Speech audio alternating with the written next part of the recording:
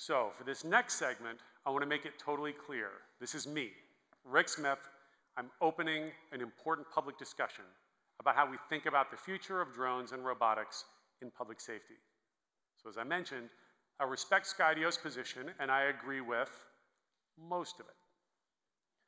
But there's an area of nuance where I think we can do important work that will save lives and create meaningful ethical guidelines and the foundation for future regulation and legislation so, as many of you might know, two years ago, I wrote a book called The End of Killing. And it's where I laid out our mission, which is to make the bullet obsolete by developing advanced, less lethal technologies that outperform even traditional lethal weapons. And in this book, I laid out a number of scenarios that we currently see all too often. So, for example, there's this one where a disturbed individual shows up at a school with an assault weapon. Now, in this situation, I think the future will play out something like this. Someone in the school hits a panic button, and that button opens a live stream to a public safety dispatcher. And it activates a pre-positioned drone that's been just sitting there passively on a hallway ceiling or within the school, kind of like a smoke detector. And that drone sends its live feed back to police dispatch so they can monitor the situation. And if that human operator gives the go signal, then the drone rotors up, it immediately deploys into the scene, and there, together with the operator, it can help identify the threat, and under direct control of that human operator, it could incapacitate that threat. This response could bring a situation under control in a matter of seconds.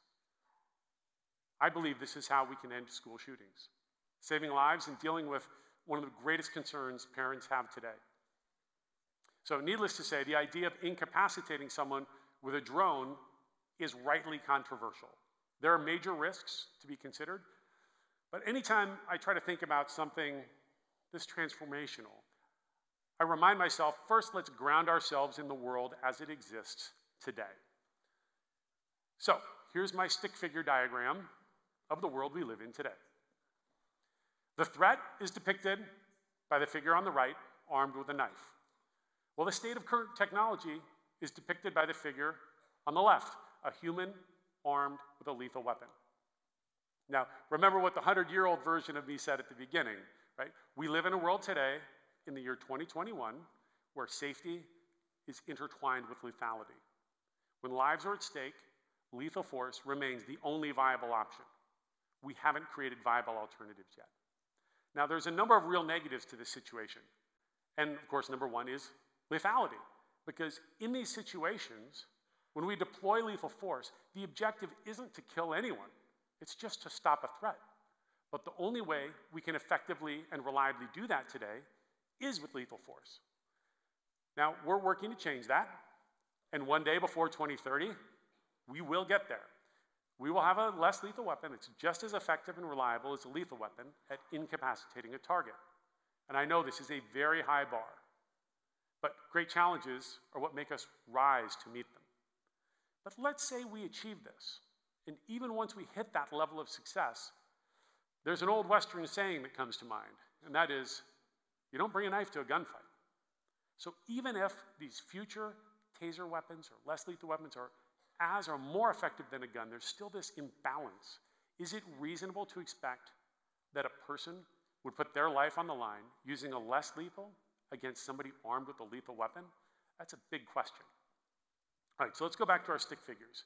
There's a second big problem I want to talk about, and that is with the person on the left. Beyond the lethality of the weapon, it's with the operator themselves. Because if you're a human being and you are in a situation, a dangerous one, where you might have to fire any sort of weapon, the fact is, you are impaired. You're impaired by adrenaline. You're impaired by your own biology.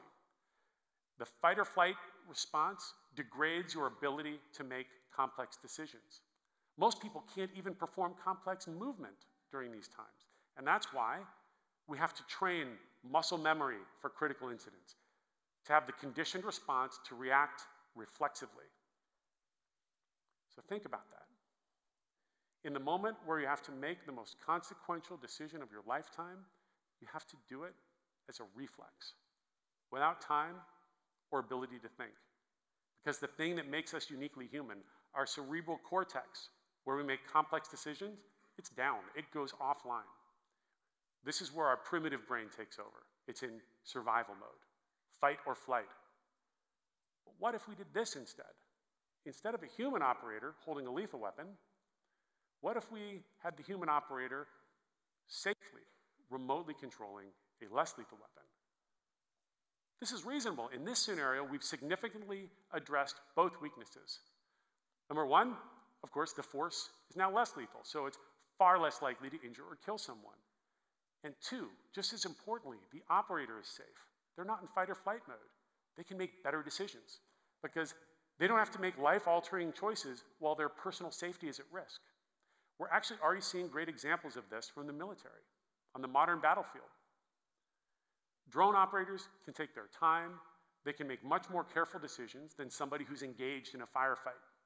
In fact, force decisions using military drones are usually made by teams of experts, including tacticians, legal experts, and in some cases, even the President of the United States.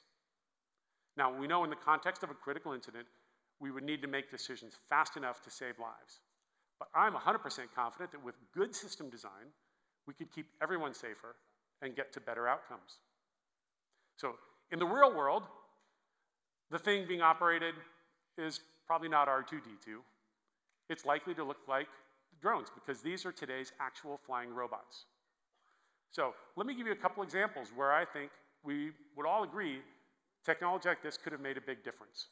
Think about the Mandalay Bay shooting. The shooter's elevated somewhere in a massive building, hard to locate. A threat response drone could have gotten there much faster and likely captured him alive. Or the Pulse nightclub. It can take hours to assemble a SWAT team to respond to events like these. When you have drones, you can send them in much faster. And compared to a human life, a drone is disposable. And you can remove the human risk to the first responders. We should not underestimate the importance of doing everything we can to protect those who keep us safe so they can go home safe to their families. Of course, you know, we've talked about these horrific school shootings. They just keep happening. If we had pre positioned protective assets on site, you could stop these threats much faster with far less risk to everyone. Now, it's not hypothetical to talk about the use of robots to take out a threat. In fact, as we all know, it's already happened. Just over five years ago, in July of 2016, the world watched as officers in Dallas used what I think most people agree was a very reasonable response given the situation at the time. But we know these things are going to happen again. Do we want to leave it to officers to have to improvise with explosives and duct tape and figure it out on the fly? I don't think so. These officers did a fantastic job with what they had in the moment. But given that we know these things will happen again, let's make sure to give officers better solutions the next time. Now, as we look at this, we also need to remember there are significant and very real public concerns. They're legitimate and should be taken seriously. The first concern is around creating lethal autonomous robots. There are many academic and other groups advocacy groups that say we should simply ban lethal autonomous weapons. And it's not just civil liberty groups. Some of the leading voices in tech have also warned that AI, for all its powers, poses very real risks we need to guard against, especially when combined with robotics. And I want to make it clear I agree with this a thousand percent. We absolutely should not be building machines that can kill us and make the decision to do so on their own. Another area of concern is around misuse and overuse. For example, the Electronic Frontier Foundation, or EFF, has taken the position that police should not arm or operate remote controlled robots, even those with less lethal capabilities. So generally, these positions come down to slippery slope arguments. This will make it too easy to adopt more extreme measures, and it makes policing too easy, too much like a video game, and by ignoring the human factors, involved. Basically, the argument is if we don't draw the line here, then it will be just too easy for police to misuse the technology over there. These are significant concerns and they're valid. But I don't think that means that we should just stand by and say, well, we shouldn't do anything here. We need to weigh the benefits and the costs and then figure out what should the rules of the road be. because people are already building robots capable of deploying force. And until now, they're almost universally lethal. According to the UN, Turkish made lethal autonomous aircraft were used against a militia in Libya last year. This was the first time AI equipped autonomous drones carried out a successful attack all on their own. And it's not just Turkey.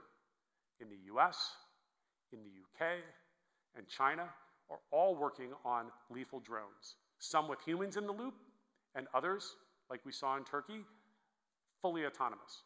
So this technology is already being created, and we can't turn a blind eye to that. Now, governments and the UN have been debating whether there should be a global pact on the use of armed drones. But in this case, technology is already out, of inter, out ahead of international legislation. Now, I see a different path forward. We should not be using robots to kill each other. We should be using robots to avoid killing each other. We could flip the script. We are going to work with legislators, lawmakers, ethicists, and all of you to create a regulatory framework first. Then we'll design the technology later. And as we do so, we'll answer how we can maximize the good for humanity and minimize the bad outcomes. Now, to do this, you know I tend to take inspiration from science fiction. In the 1940s, Isaac Asimov wrote the famous Three Laws of Robotics, though, honestly, I learned about them from Will Smith in the movie version. Right, I'm sure you all saw it. These, these rules are simple and elegant. First, a robot must never injure a human. Second, it must follow orders. And third, it must protect itself as long as that doesn't conflict with the other two laws. These are great rules for science fiction, but I think we need something designed for the real world. So today, I propose we start working with legislators, public safety leaders, and advocates for civil rights and privacy to help create ethical guidelines for first responder robots right here in the real world. So rather than launching the tech and then figuring it out later, let's build the framework first for control and ethical use before we build the tech. So, I'd like to start by proposing the three laws of first responder robotics. First, any decision must be made by another human. And not just any human, we need to know who that human is. They must be authenticated and have accepted legal and moral responsibility. You shouldn't be able to just say, well, you know, the algorithm thought it was a good idea to use force. The decision to deploy force is a moral decision and must be made by a human who can be held accountable, just like the force options you carry. Second, there should be no lethal force. Robots don't need to defend themselves with lethal force. We need to focus on making less lethal force sufficiently effective, and de escalation should always be the key. The goal should be to use as little force to stop the threat. And then finally, we should embed audio and video capabilities into these systems and require their use be recorded and reviewed by independent oversight committees.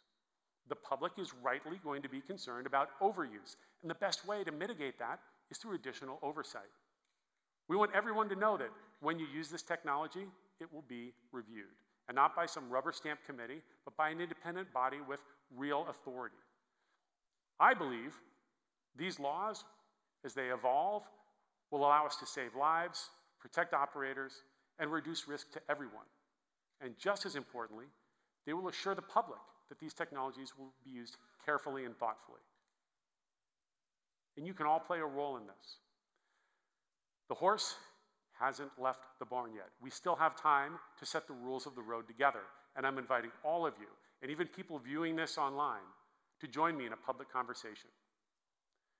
This will start soon. Before the end of this year, I'll be hosting an AMA on Reddit to start this conversation. The world is rapidly changing, and I don't think we can waste time waiting to see what happens. We must prepare a plan to ensure that we can get the right global answer. The benefits of remotely operated robots and drones that keep officers safe, they're clear and compelling. That's why people are already building them. I think it's naive to simply say, well, we shouldn't use remote systems to respond to threats. The right approach is to think carefully and create the rules for their use. So let's create a regulatory environment now before these systems are widely used in the field.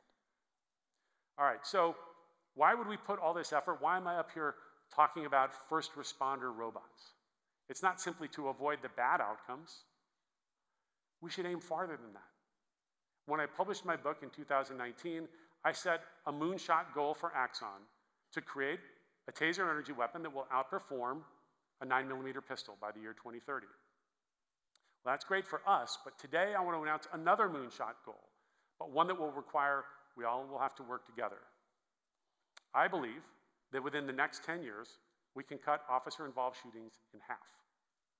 This isn't something, again, that Axon could do alone, but we have tech we can bring to the table, and it's something we can accomplish together with you, the community of first responders.